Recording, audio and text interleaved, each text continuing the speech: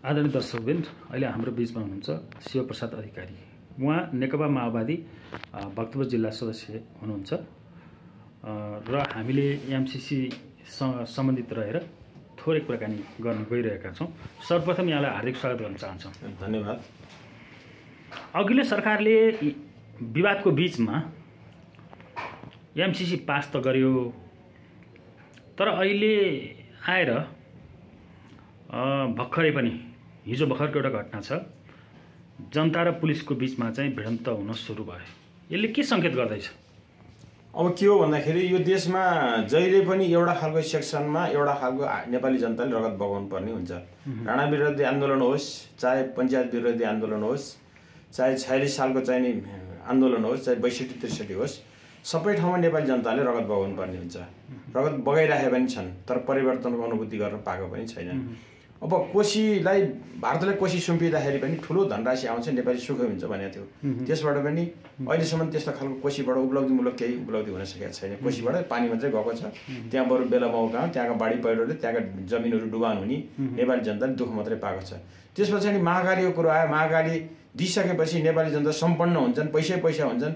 हाम्रो बिजुली बेचेर सबै मान्छे सम्पन्न हुन्छन् भनेको थियो। यिनै यिनै सरकारका मान्छेहरू यिनै अहिलेको चाहिँ नि प्रमुख पदको अहिले सरकारको दावेदारी भनेर जुन देखा पर्नु भएको छ एमालेको जुन नेता हुनुहुन्छ होइन उहाँ नै अग्रसरता हुनुभएको थियो।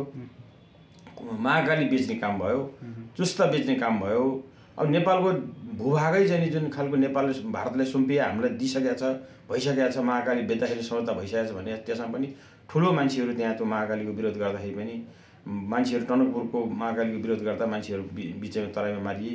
त्यस पछाडि छयालिस साल पछाडि हुँदै बैसठी त्रिसठीमा ठुलो मान्छेहरूको विपन्न भएर मान्छे धेरै ठुलो क्षति भयो। सत्र हजार अठार हजार त स्वीकारै गरेका छन्। राज्यका विभिन्न नेताहरूले भन्दैछन्। अब यो एमसिसीको एमसिसी पास गरिसकेपछि अब संसदीय व्यवस्थामा सबभन्दा महत्त्वपूर्ण महत्त्वपूर्ण अङ्ग संसद हो। संसदबाट नेपाली काङ्ग्रेसले पास गरिसक्यो एमआलएले पास गरिसक्यो माओवादीले पास गरिसक्यो। सबैले संसदबाट पास गरिसकेपछि नेपाली जनता निरय भएर ठुलो हेर्नेदेखि बाहेक अरू केही पनि छैन।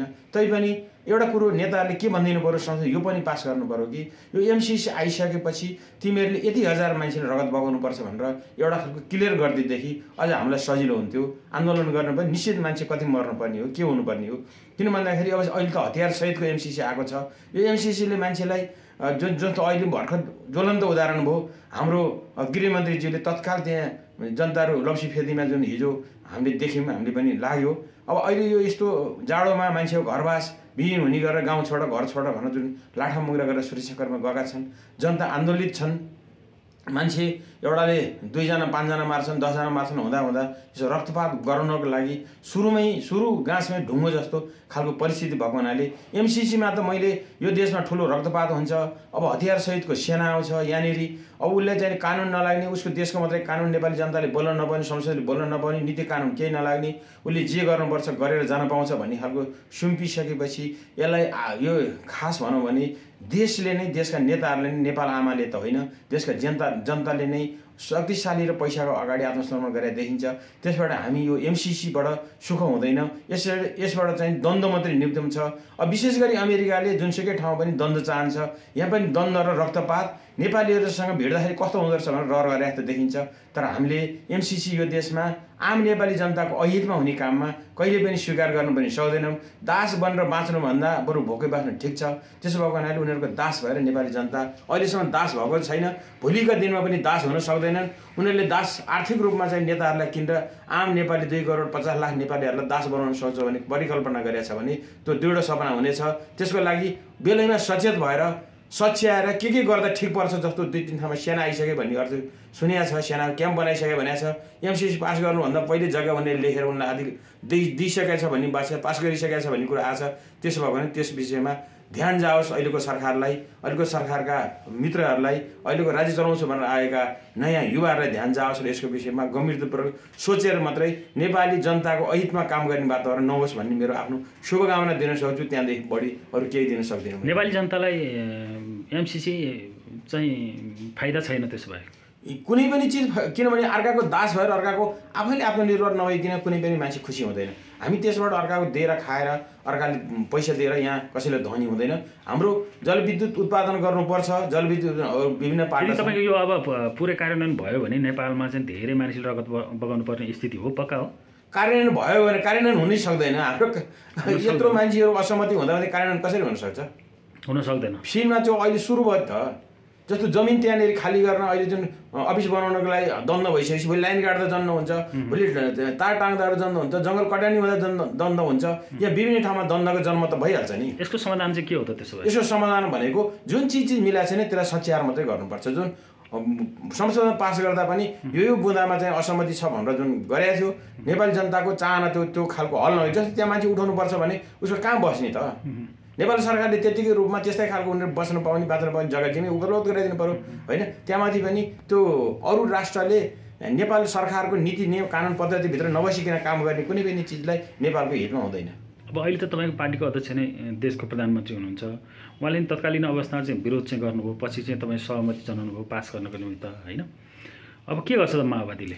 त्यो संस्थागत रूपमा मन्त्रीमण्डल मन्त्रीमण्डलको टिम लिएर संसदले हल गर्ने कुरो हो। प्रधानमन्त्री व्यक्तिगत रूपमा प्रधानमन्त्री दिएर हुने भए पहिलेका प्रधानमन्त्री दिएर भएर हुन्थ्यो। त्यसो भएको हुनाले संसदमा टेबल भएर त्यसको लागि हल गराएर संसद समग्र चिज फेरि संसदको पनि हिजोको जस्तो कुरो आजको अलि नयाँ युवाहरू पनि आउनु भएको छ। बाहिर चिजमा आउँछ होला। नभए जनता सडकमा उत्रिन्छन् नेपालको हितको छै छैन भन्ने विषयमा आम रूपमा छलफल गराएर अहितमा हुने कुराहरू सच्याएर मात्रै त्यो कार्यान्वयनमा जानुपर्छ भन्ने लाग्छ मलाई। यो सरकारले सच्याउला त?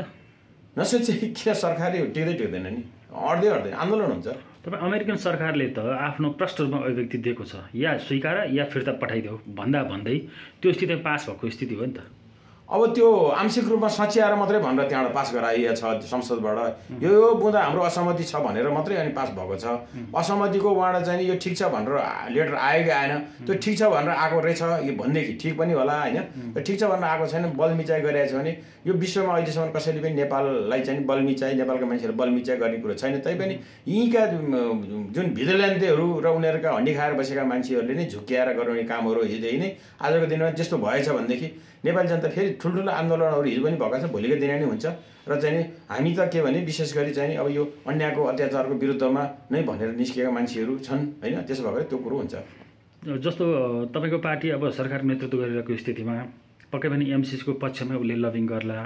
यसरी तपाईँ एउटा कार्यकर्ता भएर त्यसको विपक्षमा अभिव्यक्ति दिँदै गर्दा भोलि तपाईँलाई पार्टीले कारवाही गर्यो भने नि। पार्टी भन्दा जनता ठुलो हो। जनताको हितमा आवाज उठाउनुपर्छ। पार्टी भन्दै हुँदैन। पार्टीको पनि सहमति र असहमति हुन्छ। पार्टी भन्दैमा जनतालाई जे राम्रो हुन्छ त्यो कुरा बोल्नु पऱ्यो नि। पार्टीमा लाग्दैमा जे भएको आँखा चिम्लेर समर्थन गर्ने कुरो हुँदैन नि। भनेपछि तपाईँ नेपाली जनताको पक्षमा हुनुहुन्छ। जनताकै पक्षमा हो। जनताले जनताको आवाजै हुन्छ। जनता भए नि पार्टी बन्छ। जनतै नभए पार्टी बन्छ। देश भए जनता हुन्छ नि। जनता भए पार्टी हुन्छ। पार्टी भए नेता हुन्छ नि त। नत्र कसरी हुन्छ र?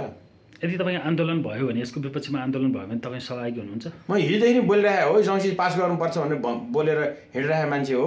लागिरहेको पनि मान्छे हो। मैले आवाज पनि दिइरहेको छु। सञ्चार माध्यम आम सञ्चार माध्यम बोले पनि छ। यो देशलाई नै खरानी बनाउनको लागि रणनीति बनाएको होला। किनभने दुईवटा ढुङ्गा तरुलजी गरेर यहाँ पिचा मिचा प्रवृत्ति अमेरिकन सेना आउने अनि चिनको सेना आउने भारतीय सेना आउने यो रणभूमि नबनोस् भन्ने मेरो अभिव्यक्ति हो। भोलिको दिनमा रणभूमि नबनोस्। अब हामी त यो सञ्चार माध्यम र आम मान्छेहरूको लेखबाट पत्र पत्रिकाबाट सुनेर बोल्ने कुरो हो। फिल्डमा जानु पऱ्यो भने अगाडि बढेर हामी फिल्डमा जान्छौँ। लगभग हामी कार्यक्रमको अन्त्यमा छौँ। नेपाली आम नेपाली जनता यो सम्बन्धमा कसरी आफूलाई संयमितता धैर्यता राख्ने वा तपाईँको सरकारले यसलाई कसरी बुझ्ने र कसरी अगाडि बढाउने? द्वन्द्व ननिम्तिनको लागि र एउटा स्थायी समाधानको निमित्त।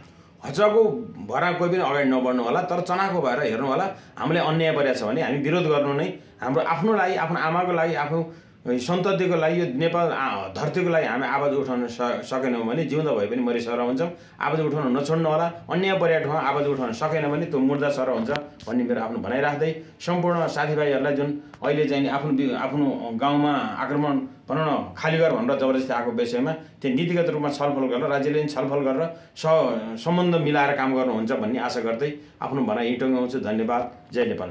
ल समय र संवादको लागि यहाँलाई धेरै धेरै धन्यवाद दिन चाहन्छु। नमस्कार अजय नमस्कार